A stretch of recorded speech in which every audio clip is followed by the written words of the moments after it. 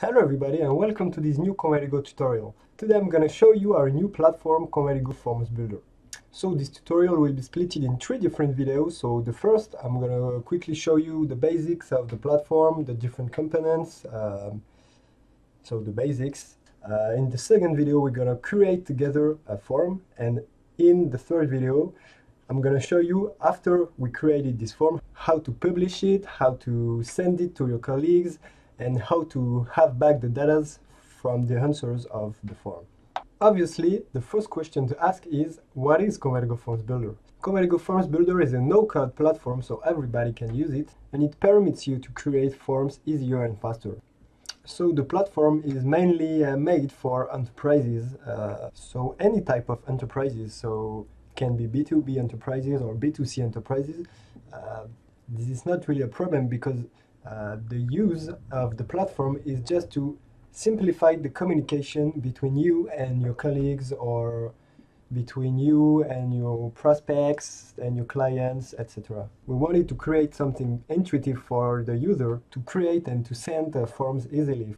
Now that we have quickly explained uh, what is the platform about, let's get through the platform.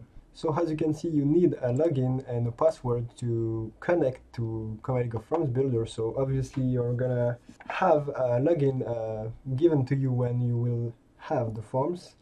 So for my part, I already have an account. So just have to connect here. And as you can see, you also can connect with Active Directory. So uh, it means that if your enterprise took uh, the Convertigo platform in general with the Active Directory, you will be able to log with your Microsoft uh, logs uh, directly and you don't have to create a special login for the Convertigo Forms and you will be able to directly log with your Microsoft logins. But personally, I don't use the Active Directory. Um, I'm just gonna log in with my Convertigo email. So let's go. Just click here on login and here is the home page of the Convertigo Forms Builder. So let's explain the different components of this home page. So as you can see here, we are on the Forms edition. So what is the Forms edition? When you create a form, but you didn't publish it, it will be shown here. And if your form is published, it will be in the published form here.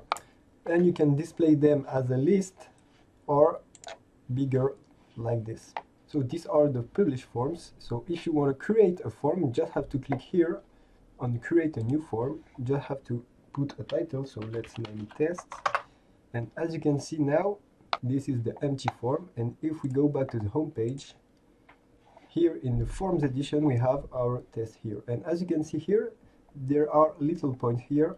And if we click on, we can do several actions. So we can edit the form, obviously.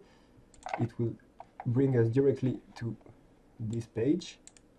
We also have a display button to display the form when he's finished, but obviously for now he is empty, so there is nothing.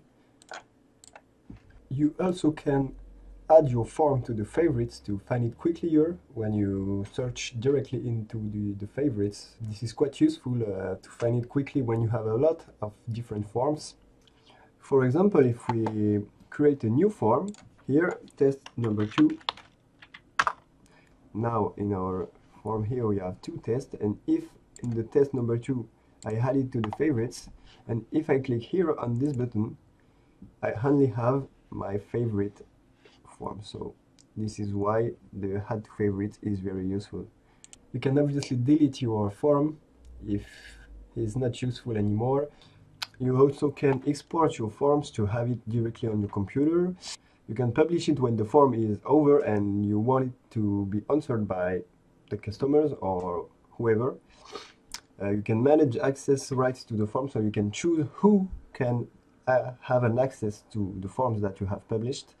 Um, manage access right to responses, so the same, but to have access to the responses of the forms, so uh, what people have answered to this form and you can duplicate your form to have it twice if you want to make some small changes uh, from one to the other.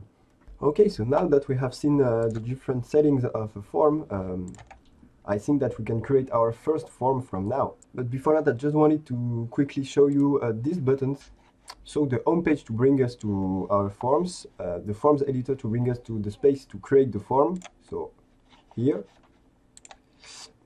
we have the form viewer to see your form uh, visually when uh, the form is over and finished.